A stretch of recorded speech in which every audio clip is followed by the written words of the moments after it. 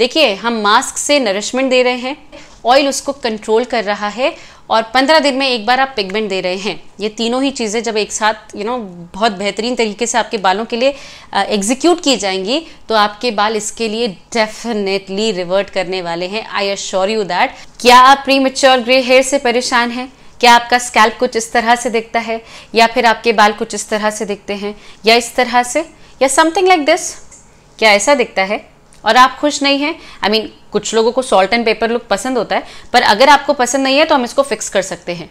लेकिन, जो कुछ भी मैं वीडियो में बताऊँगी, वो आपको फॉलो करना पड़ेगा। जी हाँ अगर फॉलो नहीं करेंगे तो इस वीडियो को यहीं त्याग दीजिए। इस जगह पर टाइम वेस्ट मत कीजिए। लेकिन, अगर आप मेरी बातों को अच्छे से सुन सकते हैं, समझ सकते हैं और फिर एग्जीक्यूट भी कर सकते हैं तो बिलीव मी आपके प्री मेच्योर ग्रे हेयर आज फिक्स होने वाले हैं। Ready everybody let's check out what needs to be done very warm welcome to my beautiful family present over here आशा करती हूँ आप सब स्वस्थ हैं, खुश हैं, अपना ख्याल रख रहे हैं और काफ़ी पॉजिटिव हैं। अगर चैनल पर पहली बार आना हो रहा है तो मेरा नाम प्रेरणा चैनल का नाम प्रीति प्रेरणा और बेहतरीन डी रेमेडीज लेकर मैं यहाँ पर आती हूँ। हफ़्ते में तीन दिन जिनको यूज़ करके मेरा परिवार काफ़ी खुश है और अपनी खुशी वो व्यक्त करता है नीचे कॉमेंट सेक्शन में। अगर आपने कॉमेंट सेक्शन अच्छे से चेकआउट कर लिया तो बिलीव मी वो जो लाल रंग का बटन है ना, उसे क्लिक किए बिना आप नहीं रह पाएँगे। बगल में बेल आइकन है, उसे भी क्लिक कर दीजिएगा और आप हमारे परिवार का एक खूबसूरत सा हिस्सा हो जाएँगे और यहाँ पर जो भी मैजिकल चीज़ें होती हैं, उन सभी का मैजिक आप पर भी काम करने लगेगा। जी हाँ जल्दी से उसको क्लिक कर दीजिए और हमारे परिवार का खूबसूरत सा हिस्सा बन जाइए।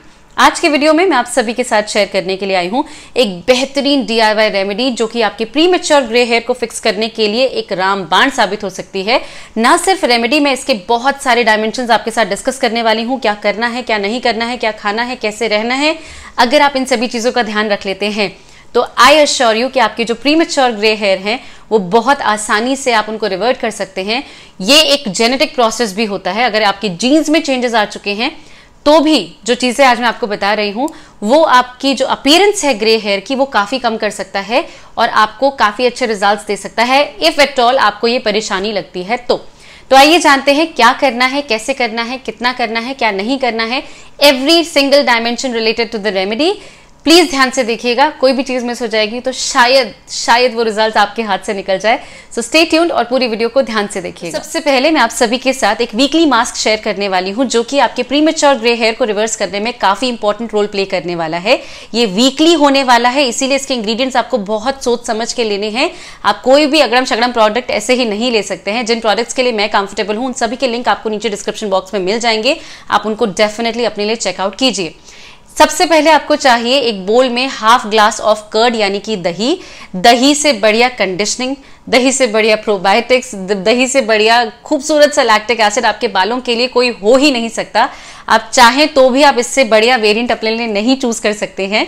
तो एक बोल में आप दही ले लीजिए। इसमें आपको लेना है सबसे इंपॉर्टेंट इंग्रेडिएंट जो कि आपके प्रीमेच्योर ग्रे हेयर को रिवर्स करने में हेल्प करने वाला है, और वो है एक बड़ा चम्मच आंवला पाउडर देखिए, मैं बहुत सारे वेरिएंट्स आपको दिखाती रहती हूँ कि आंवला कितना पोटेंट है। मेड बी हिना का application maybe any application amla इस रेमेडी जो कि आपके बालों को, आपकी स्किन को, आपकी हेल्थ को एक नई जान दे सकता है।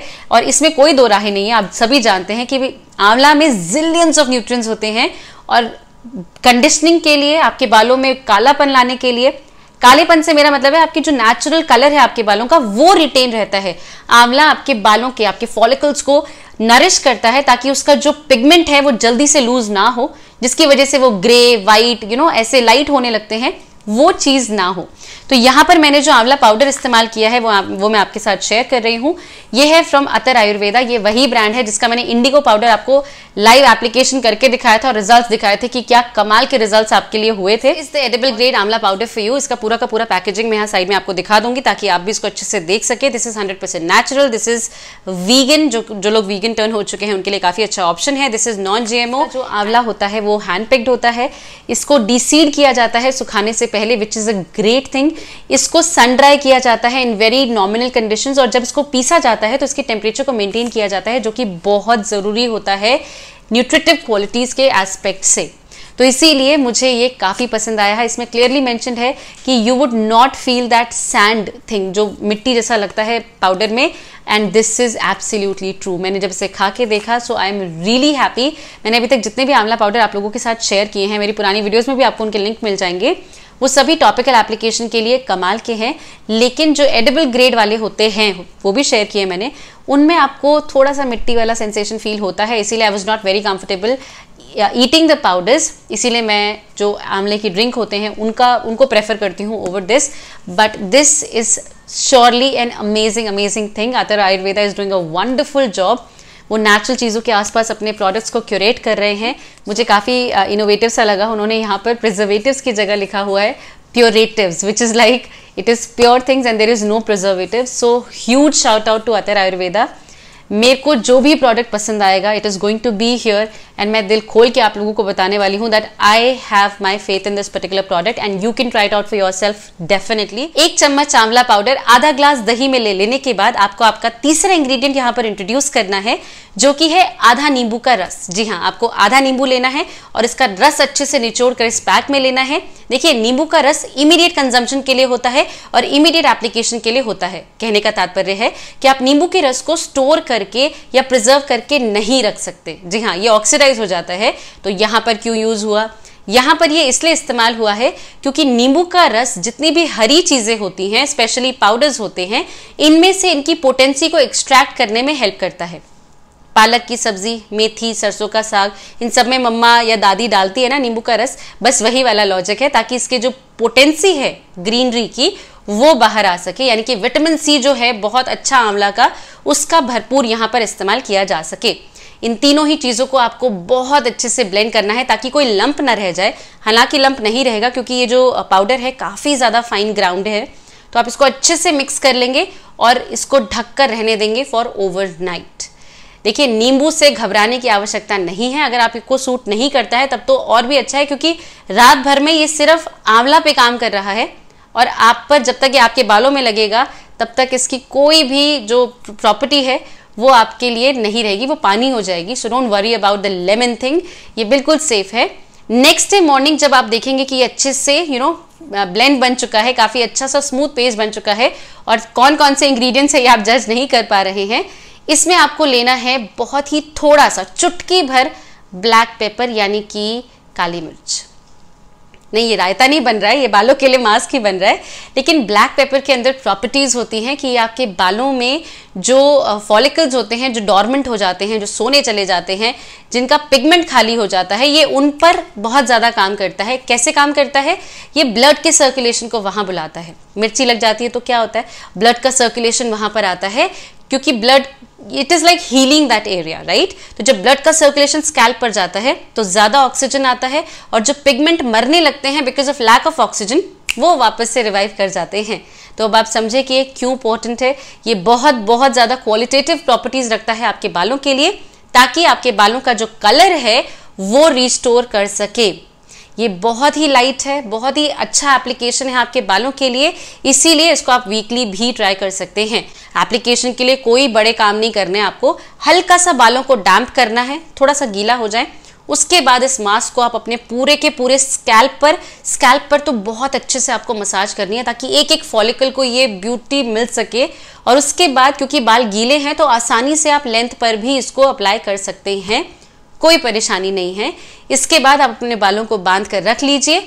आधे घंटे से 45 मिनट्स जितना टाइम आपके पास है और उसके बाद आप नॉर्मल शैम्पू कर लीजिए जैसा कि आप हमेशा करते हैं। ये एक प्री कंडीशनर है, आपको किसी प्रकार के कंडीशनर का इस्तेमाल नहीं करना है। जब भी आप ये रेमेडी कर रहे हैं स्पेशली ग्रे हेयर को फिक्स करने की केमिकल ट्रीटमेंट अगर आप साथ में कर रहे हैं तो रेमेडी करने का कोई फ़ायदा नहीं है। इससे बेहतर है कि आप ना करें। जब भी आप ग्रे हेयर को ट्रीट करना चाह रहे हैं chemicals are the worst thing stress is the worst thing और जितना भी आप मेडिसिन लेते हैं अननेसेसरीली सर दर्द हो गया, ले लिया, ये दर्द हो गया, ले लिया, वो सब ना करें तो आपको बेहतरीन रिजल्ट्स मिलेंगे आई एश्योर यू दैट तो इस मास्क का एप्लीकेशन आपको हफ़्ते में एक बार करना है लेट्स से एवरी संडे आप इस मास्क का एप्लीकेशन कर रहे हैं। अपार्ट फ्रॉम दिस आपको पंद्रह दिन में एक बार henna plus indigo powder two step process मैंने आपके साथ शेयर किया था। बस यही प्रोसेस आपको पंद्रह दिन में एक बार अपने लिए करना है। वी आर नॉट कम्फर्टेबल हमें बालों में कोई कलर नहीं चाहिए, हमारा जो नेचुरल कलर है वही आए, वही आएगा डोंट वरी आप लोगों को क्या करना है? आपको हिना का पेस्ट बनाना है, सिर्फ़ अपने स्कैल्प पर लगाना है, मत लगाइए लेंथ पर। नहीं कर रहे हम ताम झाम भैया, हमें नहीं चाहिए। फाइन आप बस अच्छे से बालों को कंगी कीजिए पार्टीशन कीजिए और सिर्फ़ स्कैल्प पे हिना का एक यू नो लेयर लगा लीजिए। कोई परेशानी नहीं। अब बालों के अंदर तो आपको कोई परेशानी नहीं है ना कि वहाँ भी हमें नहीं जी गोरा रंग चाहिए ऐसा ऐसा कुछ नहीं है। अच्छा ही आपके बालों के लिए नरिशमेंट है वो। सिर्फ़ स्कैल्प पर हिना लगाइए थोड़ी देर के बाद इसे वॉश कर लीजिए प्लेन वाटर से। जब बाल सूख जाएँ उसके बाद आपको एक लेयर इंडिगो पाउडर की लगानी है। मेरे बहुत सारे ब्यूटीफुल सब्सक्राइबर्स ने मुझे स्पेसिफिकली uh, मेल किया था after application of only indigo powder directly on to the scalp कि उनको बहुत सिवियर हेयर फॉल हुआ। इसीलिए मैं सीधा इंडिगो पाउडर का एप्लीकेशन कभी भी सजेस्ट नहीं करूँगी। मैंने अपनी इस वीडियो में आपको दिखाया था कि सिर्फ़ इंडिगो पाउडर डायरेक्टली लगाया था, क्योंकि जिनके सर पर एप्लीकेशन हुआ था, उन्होंने हिना का एप्लीकेशन दो दिन पहले ही किया था।